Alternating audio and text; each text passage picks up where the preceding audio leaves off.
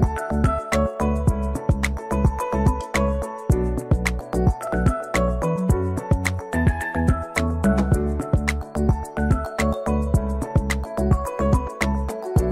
Chào mừng quý vị đang đến với chương trình Nitro News. Hôm nay Linh mời quý vị hãy cùng quay trở lại với phần 2. Chúng ta sẽ cùng gặp gỡ lại chị Kelly Watt, một trong những educator của công ty Nitro đến từ Úc. Hôm nay chị Kelly sẽ hướng dẫn cho chúng ta về 7 chai nước deep trong collection Nitro. Và đặc biệt hơn, đó chính là tìm hiểu nguyên nhân và cách khắc phục tình trạng bị nứt khi mà chúng ta làm phương pháp dipping. Thì bây giờ mời quý vị hãy cùng theo dõi nhé.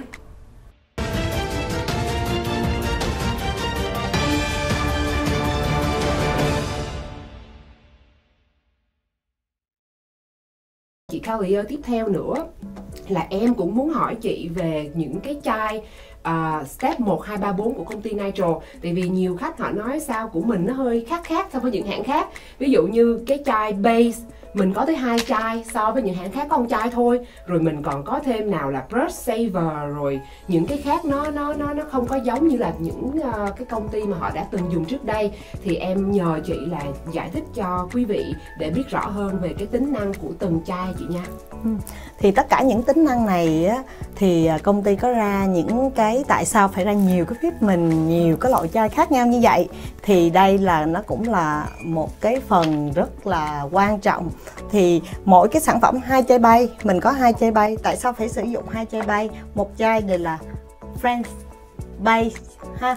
Một chai gọi là color bay. Cũng là bay, nhưng mà nó dành cho hai loại khác nhau lúc, như lúc nãy Kelly đã nói là lúc nào mình cũng cần hai cái hũ bột, natural foundation và extension foundation. Luôn luôn mình làm một cái lớp lót, lớp nền ở dưới và tạo dáng, tạo form móng. Mình đều sử dụng một trong hai hũ bột này và mình luôn luôn phải xài cái chai friend bay này. Ha, chai friend bay này rất là quan trọng. Nó là hai chai bay đều sử dụng giống nhau nhưng mà tính năng khác nhau. Tại vì French bay của mình, nó, cái treatment của nó dày hơn một chút xíu, cho nên khi mình apply những cái foundation lên nó sẽ dày hơn và tạo cái độ móng nó sẽ cứng hơn. Và khi mình sử dụng đến lớp màu thì mình phải sử dụng color bay. Cho nên trên những cái chai này mình có viết rất là rõ color bay, ha, và brand bay trên khi nào mọi người muốn đụng tới màu color là mình chỉ cần xài cái color bay để lên cái lớp màu nó sẽ mỏng và tự nhiên hơn. Đó là hai cái chai mình rất là cần thiết. Tuy là nó là rất là nhiều cái cảm thấy là nhiều cái công đoạn, nhưng mà thật ra nó cũng không có mấy là nhiều. Thì cái này thì Kelly sẽ làm một cái ờ, video clip sau, sẽ hướng dẫn chỉ cho mọi người step by step cái kỹ thuật làm như thế nào để cho được nhanh hơn và dễ dàng, không phải vướng bận những cái bận tâm về những cái chai này vì nó quá nhiều thật ra nó nhiều để cho mình sử dụng mình clean những cái chai của mình như thế nào để sạch sẽ hơn. Khi mình giữ sạch thì mình làm những cái step nó làm cho mình à, sẽ nhanh và gọn hơn chứ không phải là giúp cho mình mình thấy quá nhiều chai đi rồi mình không muốn làm nó nữa tại vì nó quá nhiều step. Ừ. cho nên trong đây mình còn cái chai à, activator. Thì chai này cũng là rất là quan trọng trong những cái uh, dripping của nitro. Thì nếu như không có chai activator này sẽ không bao giờ mình làm cho những cái bột của mình nó khô. Cho nên rất là cần cái chai này. Và cái chai um, thứ ba nữa là cái chai thóc chai thốt của mình ha. Cái chai thốt của mình rất rất rất là bóng. Chai thốt của Nitro đặc biệt rất là bóng thông thường. Khi mà mọi người làm cái chai thốt của tất cả các hãng hãy để ý lúc nào mình cũng phải apply hai lớp khi mà apply lớp thứ nhất lên cái độ bóng trong vòng 1 phút sau hoặc là 30 giây sau thì cái độ shiny của nó nó sẽ less, nó nó sẽ giảm đi. Và khi mình apply cái lớp thứ hai thì nó mới tạo được cái độ bóng. Nhưng mà đặc biệt cái thốt của nitro là chỉ cần một lớp thôi là tất cả mọi người đã thấy cái độ bóng nó là bóng bóng gọi là gấp 3 lần so với tất cả các các các hãng khác. Và khi mình apply lên cái lớp thứ hai nữa thì bóng rất là tuyệt vời ha vậy thì chị Kelly cho em hỏi là um, có nhất thiết là phải apply hai lần chai top hay không? Hay là nếu mà mọi người có nhiều salon có nói với em rằng là họ chỉ làm có một lớp thì họ thấy là đủ bóng rồi thì không biết là nếu họ làm một lớp như vậy thì nó có thiếu cái step không chị? Đúng rồi nó phải là hai lớp nó mới đủ. Thì mặc dù đó là một lớp nó đủ bóng nhưng mà cái technique nó phải đủ hai cái lớp thì nó Ừ. mới là cover đủ và cái độ dày của cái cái à, bóng của nó nó sẽ bền hơn và nó giữ nó cái, cái độ bóng của nó sẽ bóng hơn nữa. Còn nếu như một lớp thì cái độ bền nó nó, nó không có bền cho nên Dạ. mình phải làm hai lớp không được làm một lớp nha. Đó quý vị thấy không? Nãy giờ là linh cũng đã à, đưa đến cho chị Kelly những câu hỏi mà quý vị hay thường hỏi linh thì ngày hôm nay là nhân tiện có một à, người educator rất là giỏi của công ty Nitro mà đặc biệt là bay từ úc xa xôi. Đến ngày hôm nay thì có những cái câu hỏi à, linh hỏi chị Kelly thì hy vọng rằng là chúng ta tất cả mọi người đều đã cùng hiểu được những cái tính năng của từng những cái sản phẩm mà linh thấy rằng là chúng ta hay có những thắc mắc. Thì trong cái dàn bảy chai này thì quý vị thấy rằng là chai đầu tiên là chai bon chai bon này là à, để giúp cho cái móng mình nó sạch hơn phải không chị Kelly À, cái chai bột này á, là mình giúp cho những cái móng mà nó hay có những cái chất dầu nhiều. Có nghĩa là mình nó cho nên cả móng bột hay là bóng điếp cũng vậy. Có những người khách cái tay người ta có sẽ có những cái chất dầu rất là nhiều cho nên Dạ. cái bôn của này mình sức lên để cho mình những giảm được cái lượng dầu để không có bị hở bị bung bị liếp cho nên nó sẽ giảm tối thiểu những cái à, cái móng mình sẽ bị bung hở Rồi và tiếp theo đó quý vị cái chai thứ hai đó là cái chai base của mình. Thì hồi nãy chị Kelly có giải thích là hai chai này một chai là French base một chai là color base. Thì nhiều quý vị á Linh cũng thường thấy là quý vị thường chọn có một chai à. Chị biết không à, các anh chị của mình mua có một chai này à. Nói là thôi một chai này là xài đủ rồi không có cần phải mua hai chai làm chi. Ừ. nhưng mà nãy giờ thì chị Kelly có giải thích á là chúng ta cần hai chai, một cái chai French base này để dùng cho cái lớp foundation. Tại vì cái bản thân cái chai French base này thì nó tích hơn nó đặc hơn so với chai color base. Thì như vậy cái lớp foundation của mình nó sẽ chắc chắn hơn. Giống như là mình xây cái nhà chị ha. Đúng nãy giờ em cứ nghĩ rằng là xây cái nhà thì cái nền cái móng nó phải chắc chứ Đúng đã. rồi. không thôi mà gió thổi phùn cái là hoặc là người ta đi ờ, làm bộ móng xong mà về nhà mà đánh máy giống như linh vậy đó. Ừ. giống như em á chị mà đánh máy hoặc là ở nhà làm cơm làm nước mà lỡ va vô đâu đó cái nó dễ bị bị bị bị nứt hoặc là bị bể.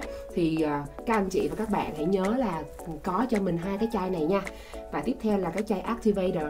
Cái chai activator này dùng để làm cho cái bột mình nó cứng lại nó khô. Ừ. để trước khi mà mình dũa mình mình mình mình buffer phải không chị? Đúng rồi. Sau đó là cái chai top. Thì à, ngoài ra đó đến đây thường là đến đây là xong rồi nè. Mấy anh chị thường hay đi supply mua có đến đây à. Ừ. tội nghiệp hai chai này quá hai chai này không ai mua hết trơn á.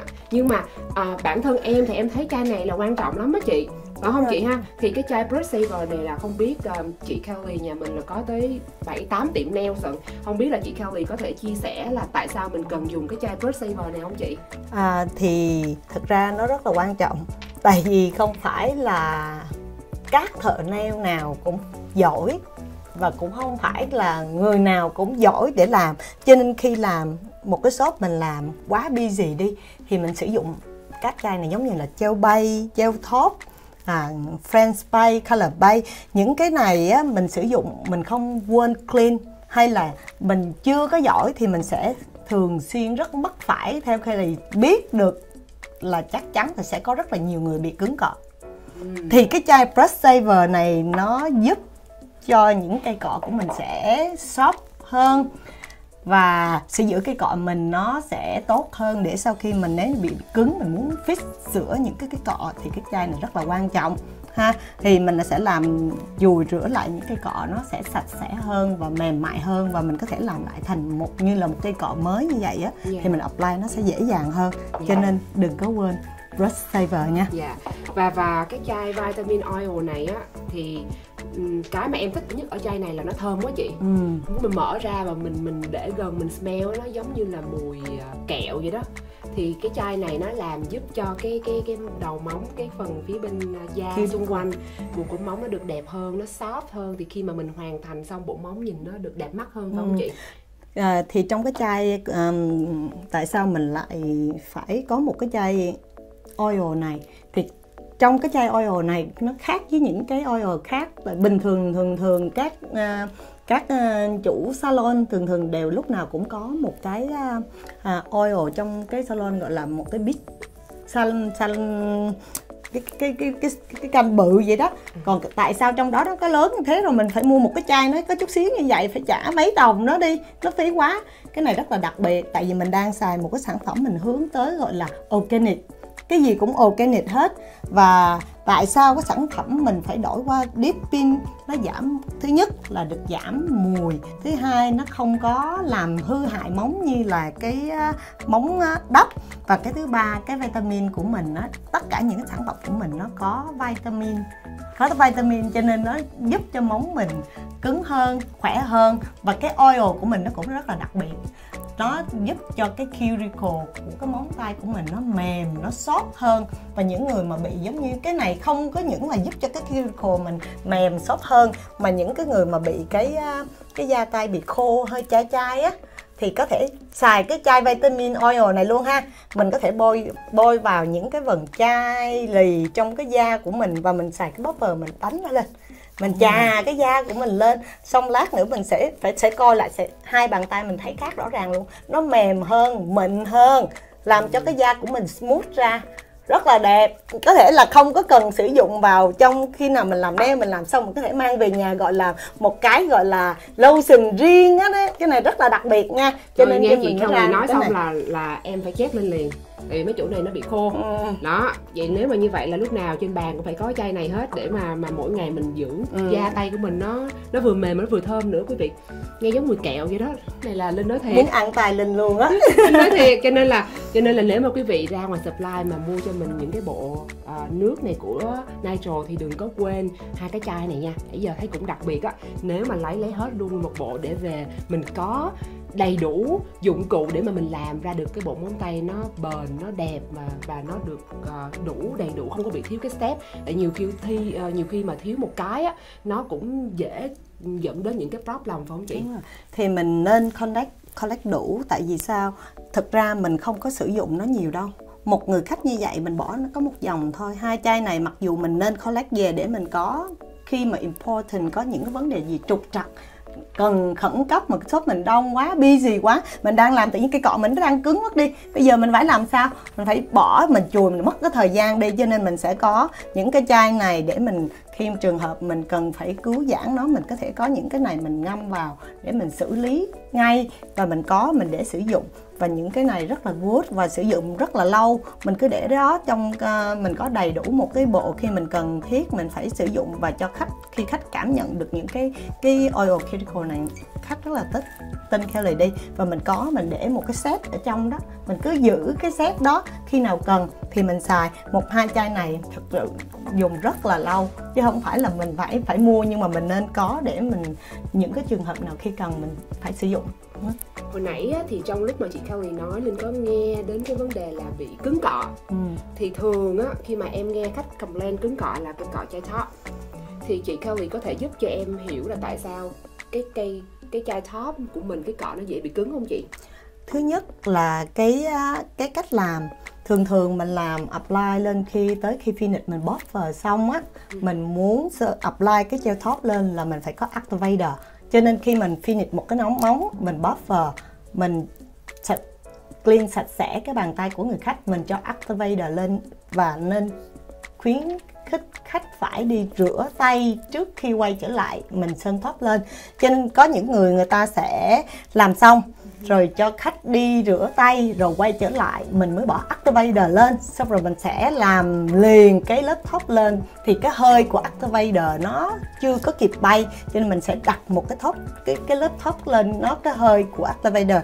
Activator của nhiệm vụ của activator nó sẽ làm cho khô khô cho nên là khô bột, khô top cho nên khi mình trực tiếp mình đặt lên cái hơi nó chưa kịp bay hết thì nó sẽ làm cho cái cọ mình nó cứng đi ha. Cho nên mình nên bôi activator, rồi mới cho khách rửa tay và quay trở lại mình sơn thóp.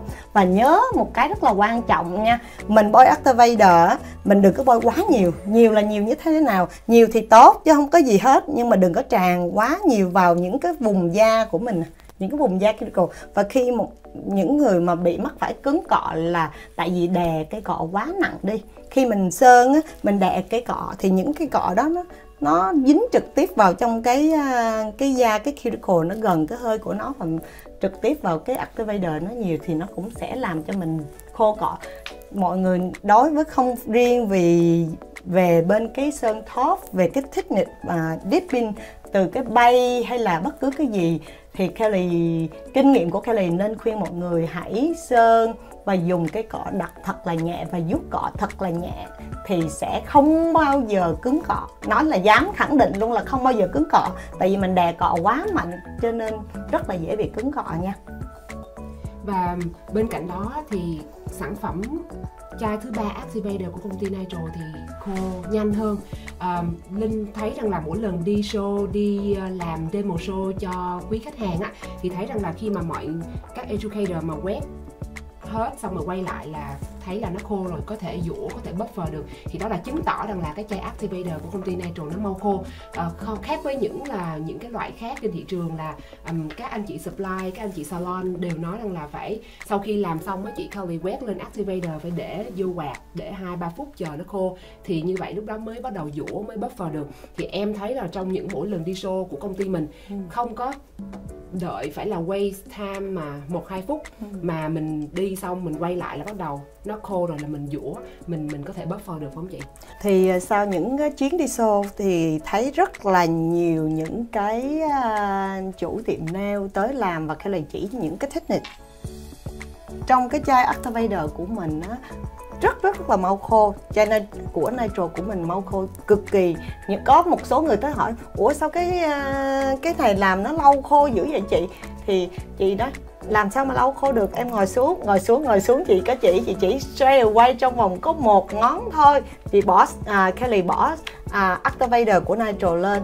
Và trong vòng đợi chỉ có one minute trong vòng một ngón chưa tới one minute nữa là đã lấy dũa dũa lên nói đâu có gì đâu mà không có khô. Cho nên người ta chắc là cái cái mình làm nó wrong way thôi. Chứ còn cái sản phẩm của Nitro, cái Activator rất là tuyệt vời ha. Và recommend, mỗi lần mình làm cái foundation là cái lớp nền cho hai bàn tay. Đừng có làm, nên làm Kelly khuyên nên làm năm ngón tay và bỏ Activator lên. Xong rồi mình mới qua bàn tay bên kia mình làm cái lớp nền khác và bỏ Activator lên thì sau đó mình quay trở lại thì activator của mình nó sẽ khô liền và rất là cứng. Mình có thể dũa xếp hay là làm bất cứ cái gì cũng được nếu như mình nhúng cái nền không được đẹp. Thì mình có thể dũa và chạy máy lại. Thì lúc đó activator của mình đã cứng một cách hoàn hảo rồi, cho nên muốn làm cái gì cũng được, không có vấn đề gì ha. Còn cái activator của nitro là rất rất là nhanh khô, cực kỳ nhanh khô nha. Vậy là nãy giờ là quý vị cũng đã hiểu thêm về từng cái chai nước số 1, 2, 3, 4 của công ty Natural cũng như là những cái hũ pink and white. Làm sao để mà chúng ta có thể sử dụng được và chức năng của từng cái hũ bột này? Thì Linh hy vọng rằng là nếu quý vị có những thắc mắc nào hơn nữa thì đừng ngần ngại hãy gọi điện thoại vào số văn phòng của công ty Natural cũng như là comment bên dưới cái video này. Thì Linh và chị Kelly sẽ giúp cho quý vị trả lời những câu hỏi, những thắc mắc của mình. Và hẹn gặp lại quý vị vào chương trình lần sau với cái part 2 là chúng tôi sẽ đi sâu hơn nữa về những cái uh, problem mà quý vị hay gặp phải trong tiệm của mình khi mà làm deep thì uh, mời quý vị hãy cùng đón xem chương trình lần sau cùng với Linh và chị Kelly nhé.